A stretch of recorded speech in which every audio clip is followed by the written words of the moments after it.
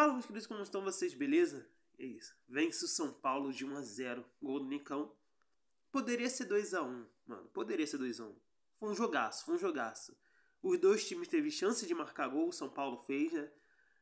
Jogo fez um 1 a 0 em casa. Foi, ser um resultado ótimo, mas poderia ser poderia ter, ter tido dois gols, tá ligado? O Caleri perdeu um pênalti que para mim foi mais erro dele do que mérito do goleiro.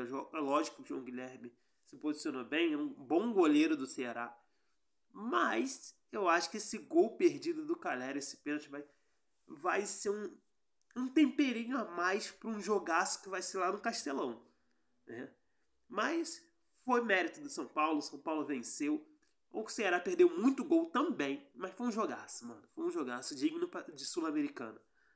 Né? Agora vamos esperar o jogo, a batalha do jogo da volta, mano. Vamos esperar a semana que vem.